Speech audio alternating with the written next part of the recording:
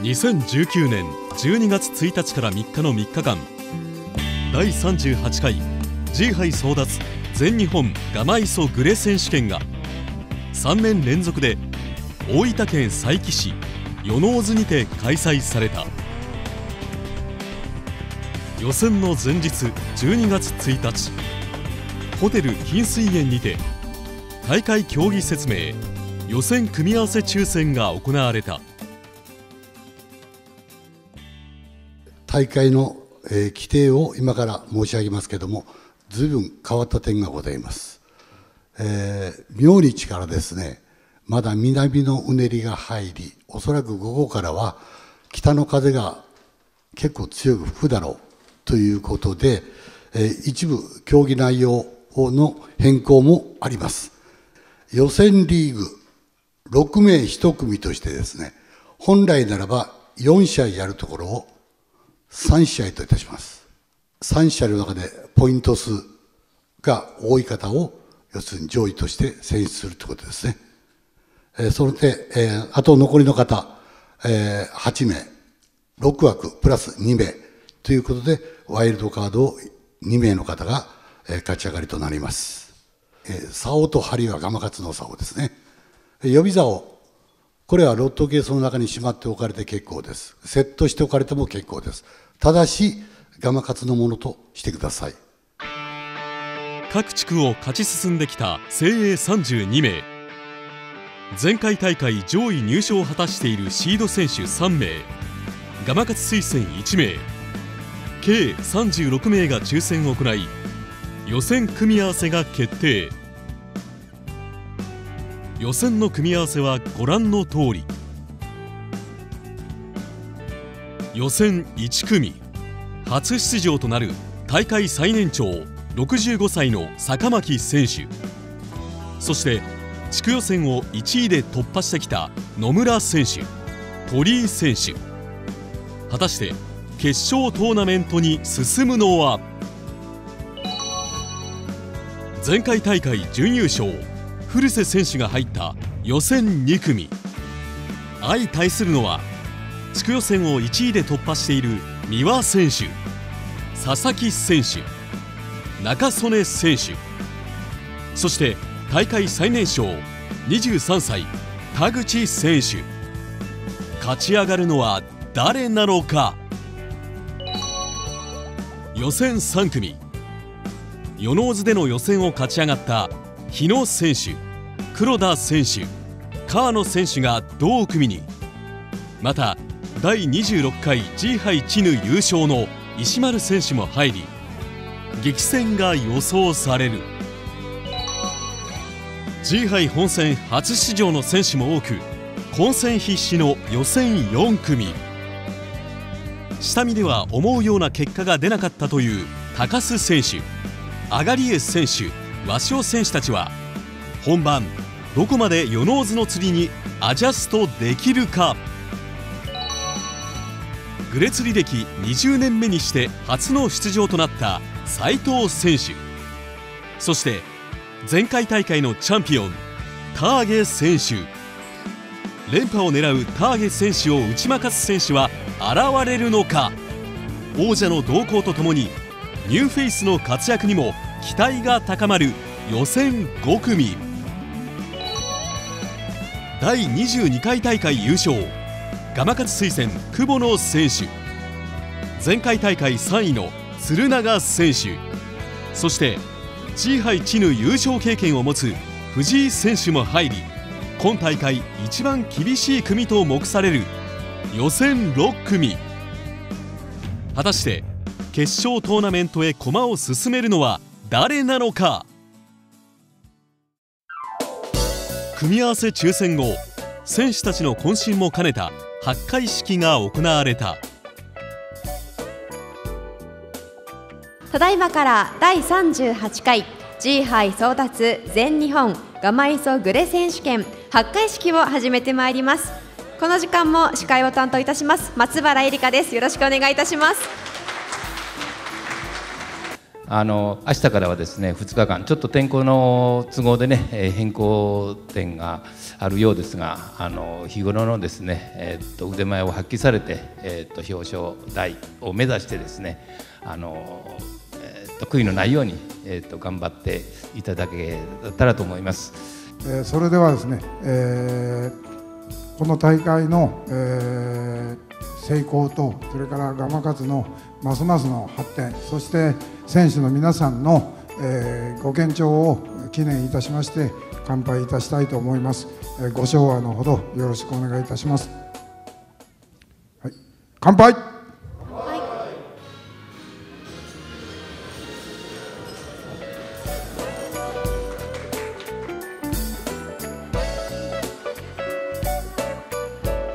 全国から集結した選手たちは普段ではなかなか交流の機会がない釣り人たちとの出会いを楽しみ釣り談義に花を咲かせていく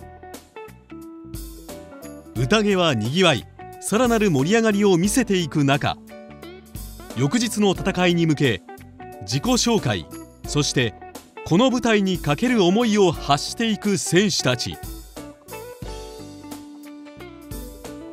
互いの健闘を誓い合い大会へ向け英気を養う八回式となった。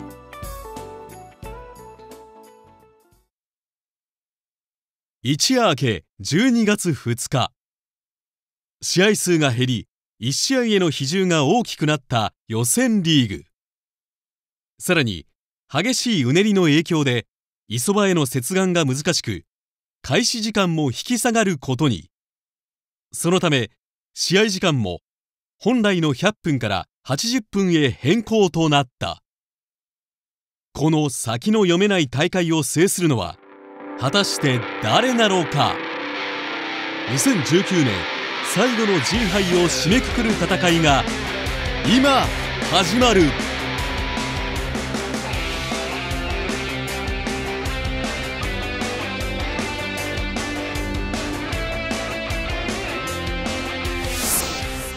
第38回 G 杯争奪全日本ガマイソグレース選手権株式会社ガマ活が主催する大会で、え全国のガマ活動愛好家のために、え感謝と恩恵の念を持ってガマ活があの主催する大会です。まあ主な主催の原因としては要するに友好の場と町業の向上のためにこの全国の予選会から、えー、選抜された選手の方を、えー、競い合う大会ですね。えーとですね、通常このよろずの場所っていうのは一番最初に港出て、えー、サザエバエっていうのが、まあ、あります。中間点に沖の観音地の観音それから、えー、一番奥の方になるさずりとかいう磯があってその内側にですね、えー、多少お磯があります。分類してます。明日の決勝トーナメントに向けてはですねおそらく天候回復してくると思います。競技方法は浮き深せ釣り。予選は6名1組。計6組に分かれリーグ戦で争われる。本来であれば100分の試合が4回行われる予定であったが海の状況に伴い安全性を確保するため大会形式が変わり1試合80分。そして試合数は3試合に変更となった。勝敗は25センチ以上のグレの総重量にて決定。勝ち数が同数の場合は規定ポイントの総得点が多い選手の勝利となる。各組上位1名そして各組2位の選手の中で総得点の多い上位2名の選手がワイルドカードとして決勝トーナメントへ進出となる。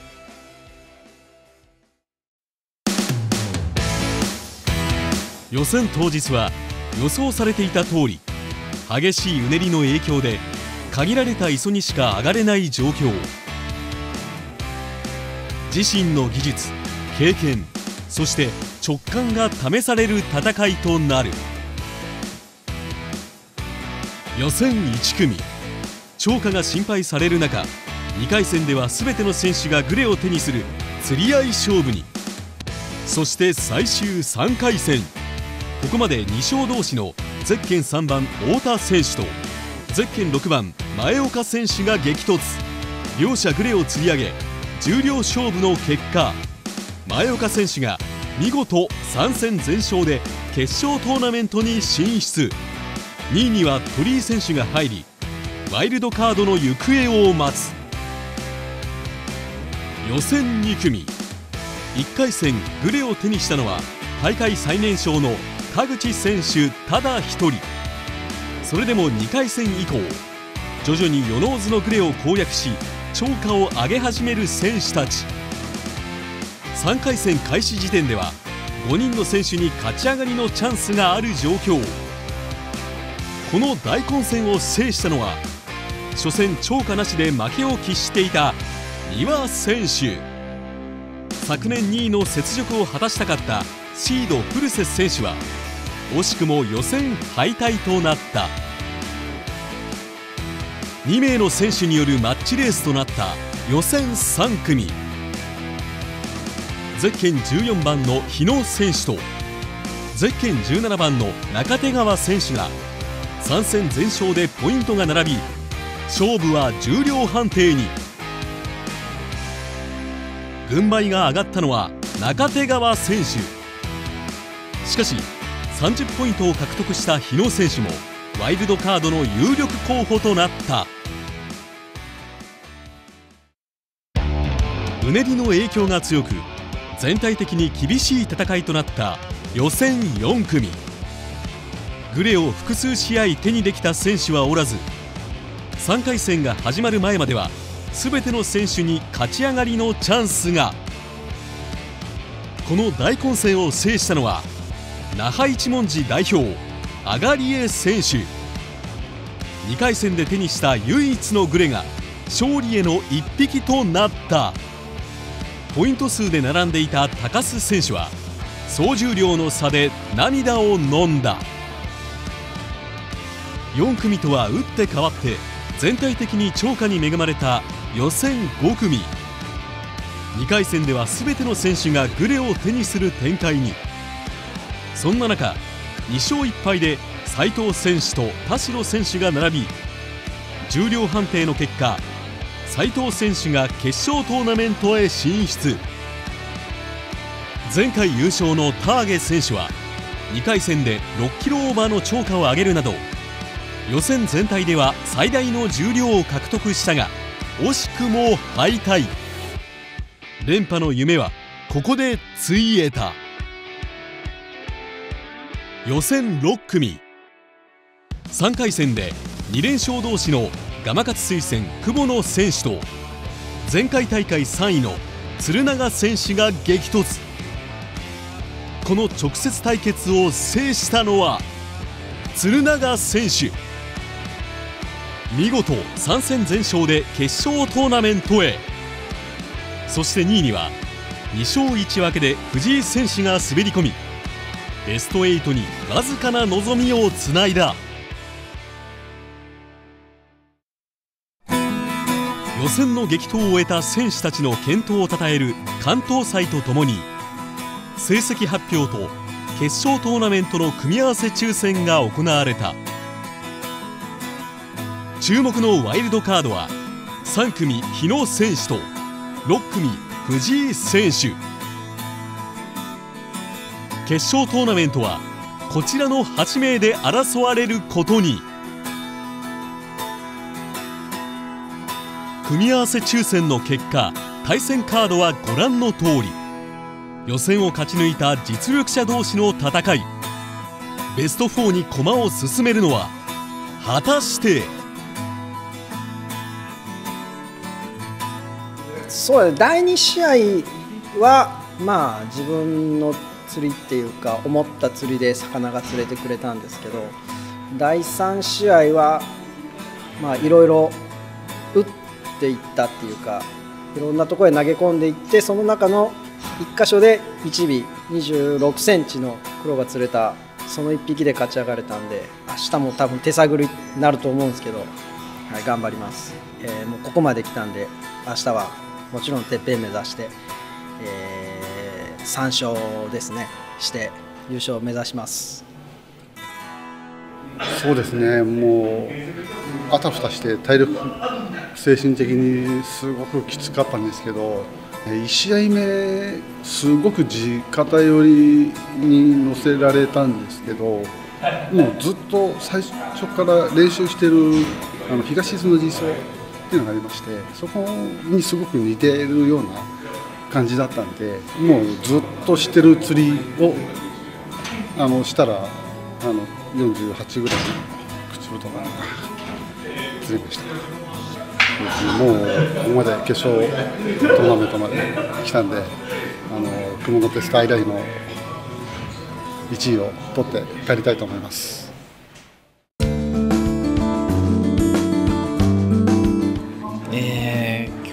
とにかく風が強くてですね、もう仕掛けをいかに風に取られないように入れるかっていうのだけもう心がけて2試合目の場所が結構少しだけちょっと風の影響を受けなかったんでこの短時間の間でどうにか1匹釣ることできたんでこれは良かったかなと思います。一頭一頭丁寧に時間いっぱいいっぱいまで楽しみながら釣りができたらいいかなと思います。できたらやっぱり上に行きたいですよね。1位ですよね。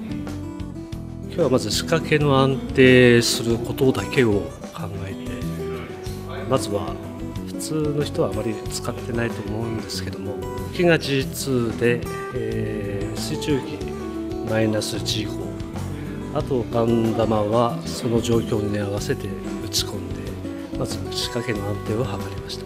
で3回戦で前回チャンピオンさんに当たったんですけどもなんとか勝つことができてそれがもう勝因の一つですもう念願の予選勝ち抜いてまあ、20年ぐらいかかってやっと出たんで、え、できる限りあの今日と同じような仕掛けで、えー、通用することも実感済みなんで明日は、えー、気負わず、えー、自分の釣りで勝負したいと思います。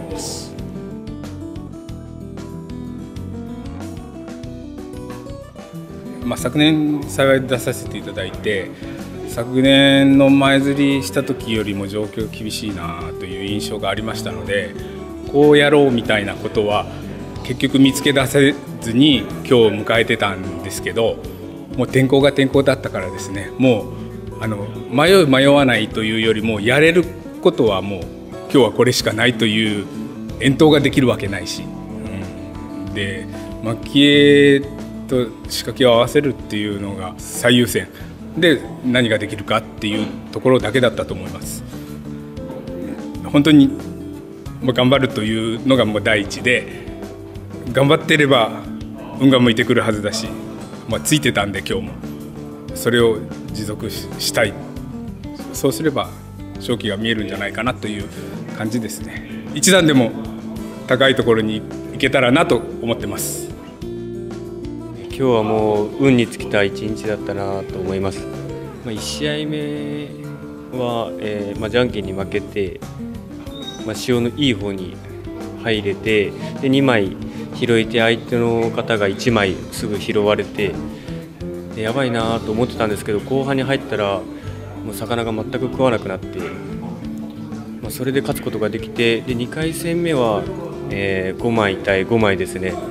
もう重量勝負ということで運よく何百グラム差ぐらいで勝つことができましてで3回戦目は、まあ、手前の方を狙ってたんですけどたまたまなんか大きなさらしが来て沖に払い出された浮きをそのままにしてたら沖の方の潮目にたどり着いて気づいたら浮きが沈んでたというような形で本当にもう運が味方をしてくれたなという一日でした。もうできないことはできないと思っているのでいつもしてる自分の釣りを釣りにぶれることなくしていきたいのとまたあの私仲間内で小さなもう10人もいないようなチームを作ってるんですけどそのチームの、えー、ワッペンが浮きの形をしてるんですよね。で、まあ、その浮きを、まあ、少しでも高い位置、まあ、また全国の皆さん多くの方に見てもらえる長く見てもらえるように明日は全力で頑張りたいと思います。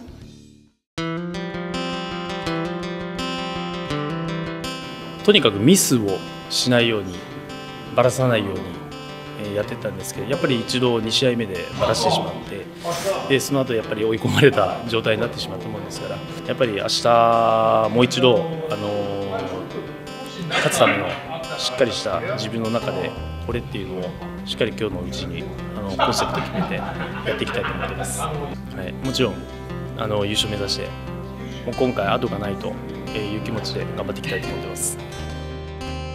えーまあ、1試合目なんですけど、まあ、風が強すぎてもう正直釣りにならなかったんですけど、まあ、それを、まあ、うまく利用して、まあ、2試合目からガンダマを多くで2試合目3試合目と多く釣ったって形ですかね。自分師匠がガマカツの平林康弘さんっていう方で、えー、やっと同じ舞台に立てたかなと、えー、もちろん優勝で同じ立場に並べるようにですね師匠と一緒に並べるように頑張りたいと思います。決勝トーナメントは1試合100分。50分経過後に釣り竿交代。釣ったぐれの総重量で勝敗を決する。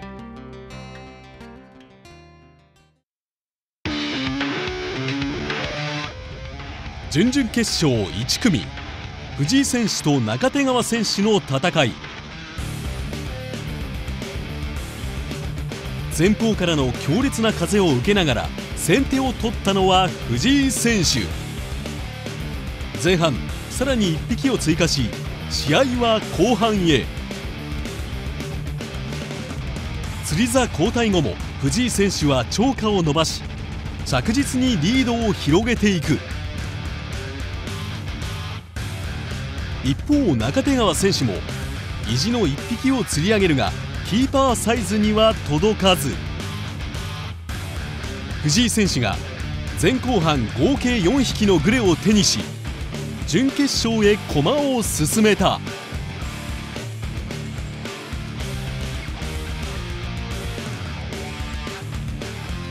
準決勝2組。アガリエ選手と斉藤選手のバトル。上げ潮が流れる状況の中最初に竿を曲げたのは斉藤選手。時を同じくアガリエ選手もグレをキャッチ。両者ともに好スタートを切る。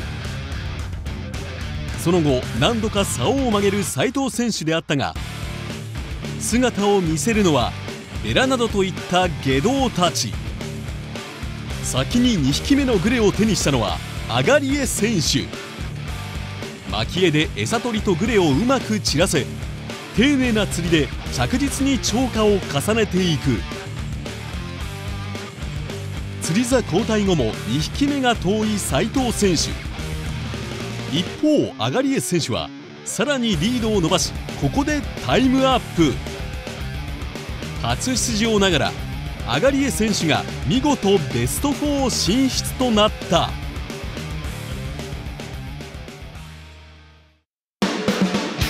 準々決勝3組。鶴永選手と日野選手の争い。爆風が吹き荒れ両者苦戦を強いられる中先に動きがあったのは前回大会3位の鶴永選手。右から左の片潮にうまく仕掛けを流しグレをキャッチ。その10分後鶴永選手がさらにリードを広げここで釣り座のチェンジ。前半戦ではもろに風の影響を受けていた日野選手であったがポジション交代後ようやくこの日初めての曲がり。待望の1匹を釣り上げ笑みがこぼれる。その後両者超過は上がらず重量判定へ。減量の結果鶴永選手が 255g 差でこの戦いを制し2年連続で準決勝へ進出。準々決勝4組。激しい釣り合いとなった前岡選手と三輪選手の激闘。開始早々早くも前岡選手の竿がしなりグレを手にする。しかし負けじと三輪選手も激しい風にさらされながらグレをゲット。さらに2匹目3匹目と立て続けにヒットさせ大きなアドバンテージを得る。三輪選手がリードを保ったまま勝負は後半へ。そして迎えた後半戦。ここまでチョーカー1匹と調子の上がらない前岡選手であったが前半戦の鬱憤を晴らすかのようにグレを連発。一気に超過を伸ばし試合を優位に運ぶ。一方三輪選手は釣り座交代後苦戦が続き超過ゼロ。減量の結果前岡選手が見事逆転で準決勝進出を決めた。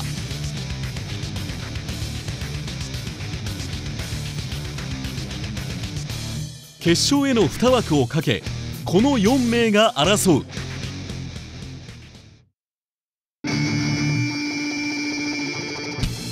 準決勝1組藤井選手と上江選手の一戦。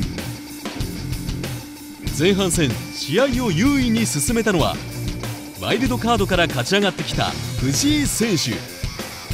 開始20分で2匹。さらに釣り座の交代間際にも2匹のグレをキャッチ。一方アガリエ選手は餌取りに悩まされ超過なし。藤井選手の圧倒的リードで試合は折り返しへ。後半戦ここからアガリエ選手の猛追が始まりグレを連発。25分間で4匹をゲット。数で藤井選手に並ぶ。さらにもう1匹追加しついには逆転。しかし終了1分前。後半戦一度もグレを手にしていなかった藤井選手にラストチャンスが。これをしっかりとものにし勝負は重量判定に。減量の結果わずか 230g 差で藤井選手の勝利。決勝への舞台にあと一歩届かなかったアガリエ選手は3位決定戦へと回った。準決勝2組。前岡選手と鶴永選手の戦い。試合開始20分。先にグレを手にしたのは前岡選手。さらにその3分後。そして前半終了間際にもグレを追加し前半戦を3対0で折り返す。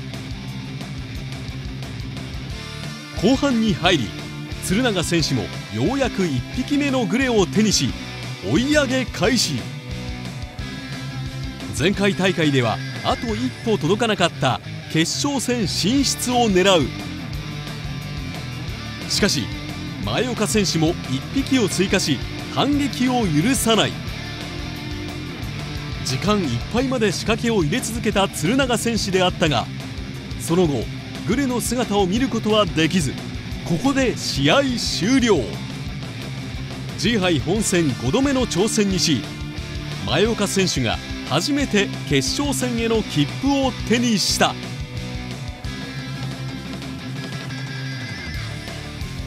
決勝戦3位決定戦も同様に1試合100分。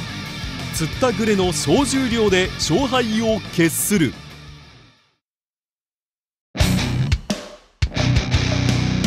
決勝戦と同時刻。表彰台そして来年のシード権をかけた戦いが始まる。前半戦風の影響もあり両選手思うように仕掛けが入らない。グレの気配も感じられず我慢の時間が続く。そんな中先に動きがあったのは鶴永選手。しかしこれは椅子済み。そして前半戦残り1分。アガリア選手に強烈な当たり。時間をかけ魚を引き寄せるが痛恨のバラシ前半戦互いにチョーカーなく勝負の行方は後半へ。均衡を破ったのは鶴永選手。グレとのバトルを慎重に制し待望の1匹目を手にする。その10分後またも確かな手応えが。これをしっかりとものにしリードを広げる鶴永選手。しかし初出場のアガリエ選手も簡単には引き離されない。今度はしっかりとグレを手繰り寄せ鶴永選手を追いかける。勝負の行方を左右しそうな次の1匹。それを手にしたのは鶴永選手。表彰台へぐっと近づく3匹目のグレ。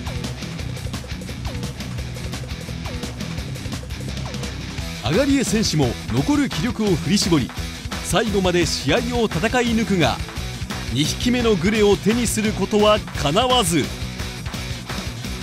ここでタイムアップ。鶴永選手が3位を獲得。見事2年連続で表彰台に上がることとなった。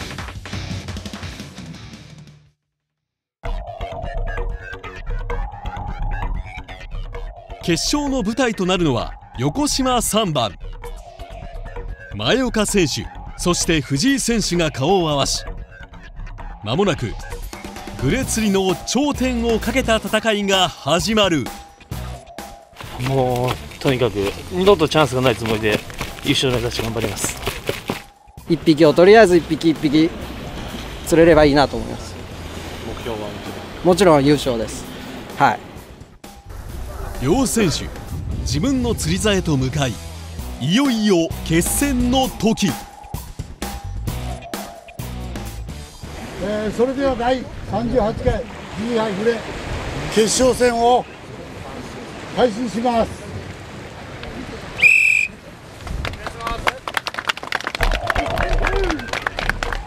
決勝戦開始。両者とも仕掛けを振り込む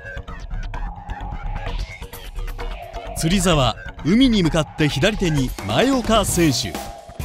竿はガマイソグレ競技スペシャル31.255号5メートル。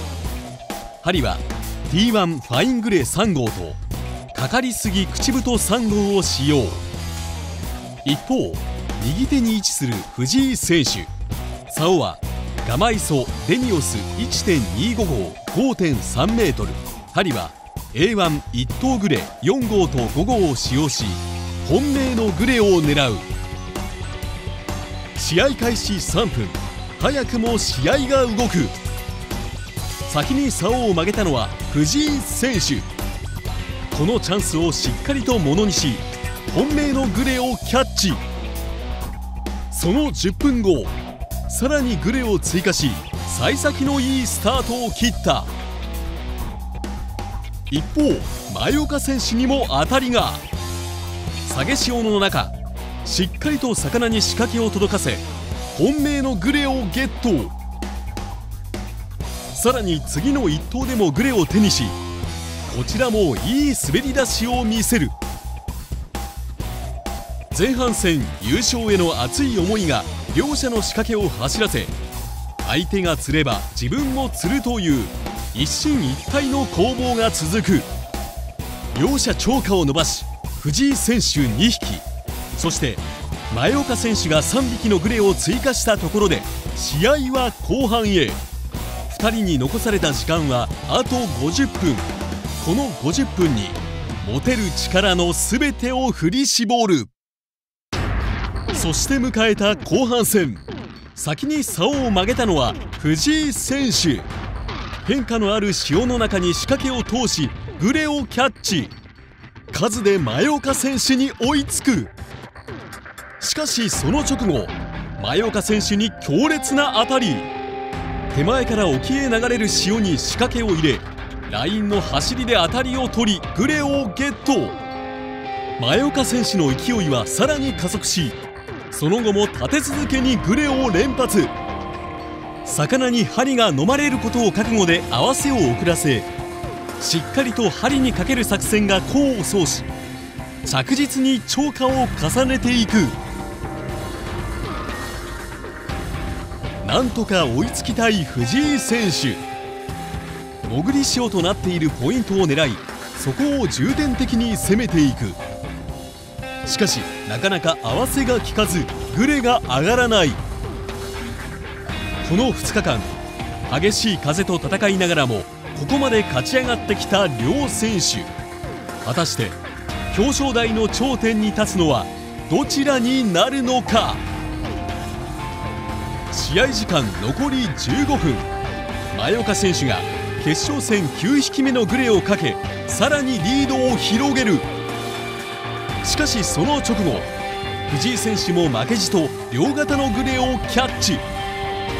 決勝戦にふさわしい見事な釣り合いを見せる両選手。その姿を敗れ去った選手たちも尊敬の眼差しで見守る。そして試合終了間際前岡選手がまたもヒット。2桁となる10匹目のグレを釣り上げここでついに試合終了の時。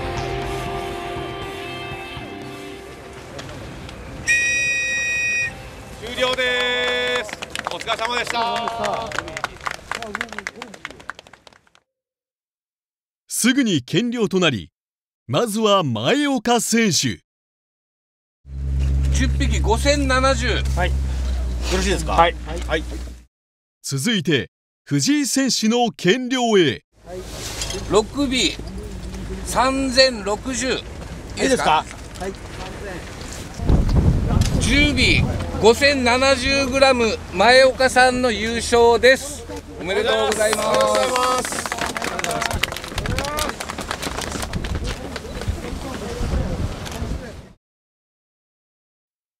それでは栄えある第1位の発表です。